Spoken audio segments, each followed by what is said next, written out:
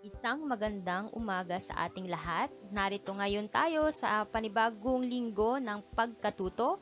So quarter 4 week 5 sa ating grade 8 mathematics at ang topic natin sa araw na to, sa ating video na to, are, is the conditions under which lines and segments are parallel or perpendicular. So, ang objective natin is to determine the conditions under which lines and segments are parallel or perpendicular. So, simulan na natin.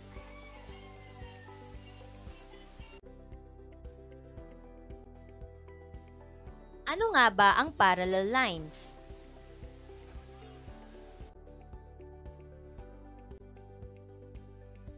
Parallel lines are lines in a plane that are always the same distance apart. So, meron tayong mga conditions of parallelism.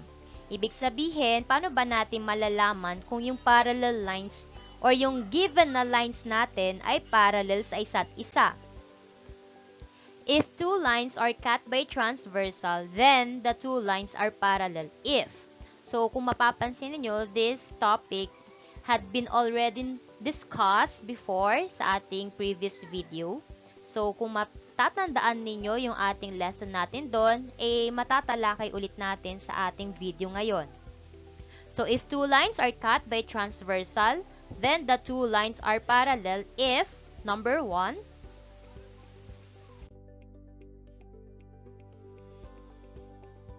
corresponding angles are congruent, Alternate interior angles are congruent. Alternate exterior angles are congruent.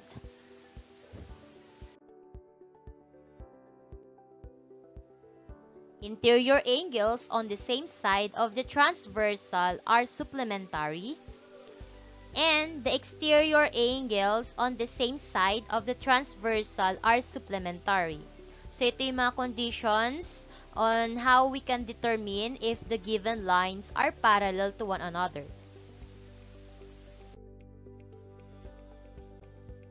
Ano naman ang mga examples nito?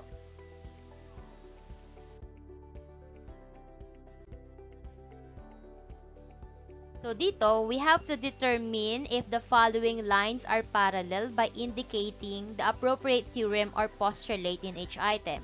So, simulan natin sa illustration na to. Ayan.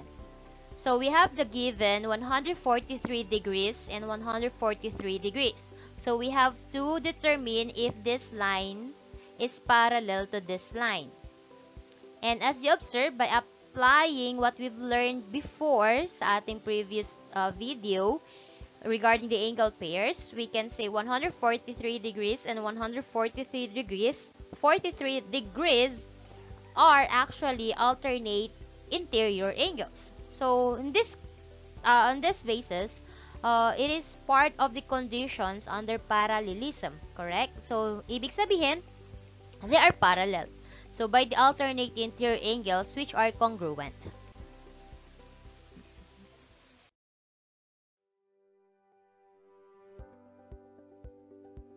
So, itong isang pang figure, So, ang given measure natin, or angle measures natin, are 78 degrees and 102 degrees. And as you observe, 78 and 102 degrees are actually um, corresponding angles, correct? So, let's recall what are corresponding angles and we can now uh, determine if this line is parallel to this line. So, therefore, they are not parallel since the given angles are said to be corresponding angles and they should be congruent. So, yung angle measures natin kasi 78 and 102, they are not congruent.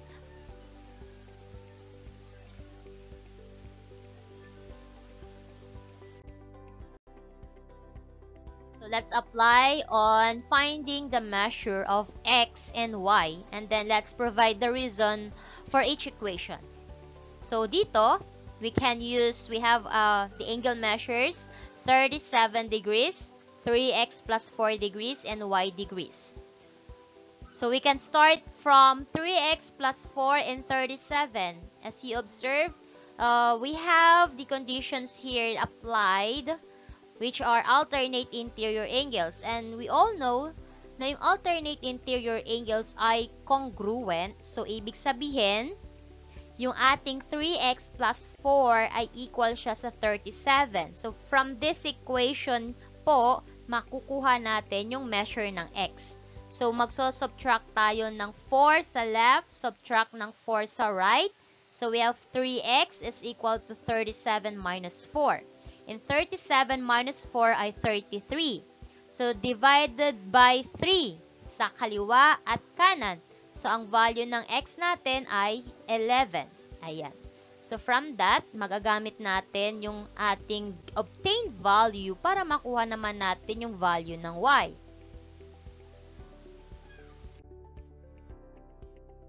Kung mapapansin ninyo class, since 37 and this one is also the same since they are alternate interior angles, we can have 37 and y, okay, this one, 3x plus 4 is also 37 and y is actually a linear pair. So when we have linear pair, they are supplementary, okay?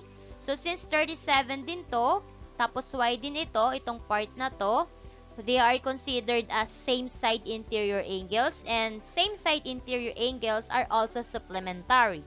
So we can so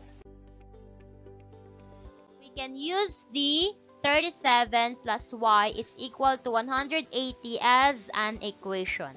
So magma-minus lang po tayo.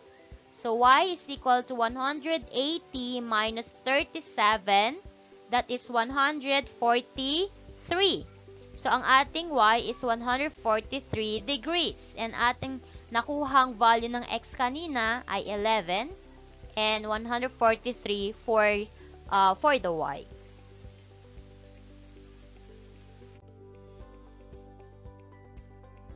Ngayon, dumako naman tayo sa perpendicular lines. Ano ba ang perpendicular lines?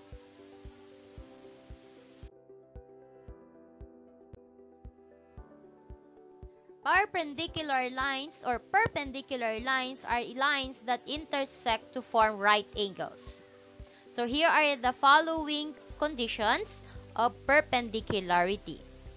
Una, if two lines are perpendicular to each other, then they form four right angles.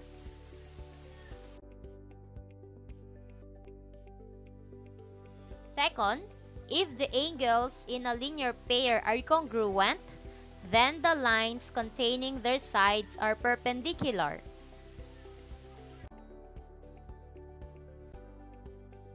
Third, if two angles are adjacent and complementary, the non-common sides are perpendicular. So, pag sinabing adjacent, they share common side. Complementary, ibig sabihin yung total ng given angles natin ay 90 degrees. So, let's have an example for this. Find the measure of x and y, then provide the reason for each equation obtained from the diagram.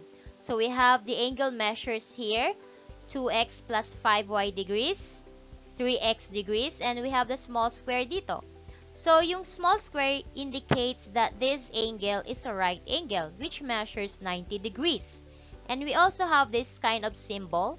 This symbol indicates that this line is parallel to this line. Okay? So, how can we solve for the value of x and y? So, simulan po natin dito. Since this is 90 degrees and this is 3x degrees and we have this two lines parallel to one another and this line is a transversal, we can have the angle pair which is corresponding angles.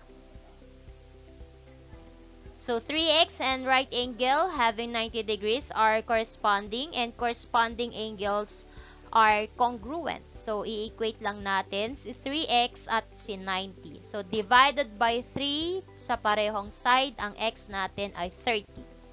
Ayan. So, meron na tayong value ng x. Hanapan, hanapin naman natin yung value ng y.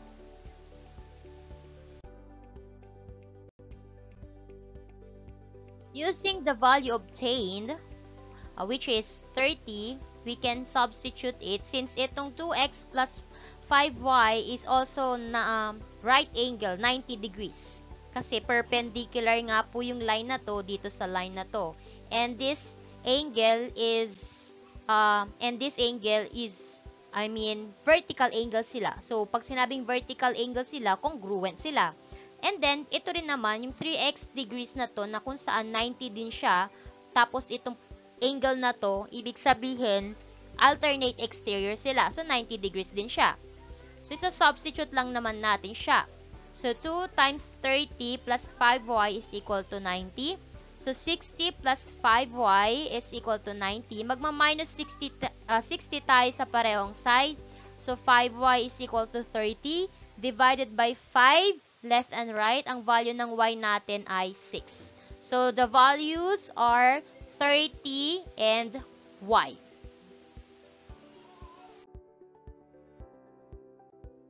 And that's the end of our discussion. Hope you learned today.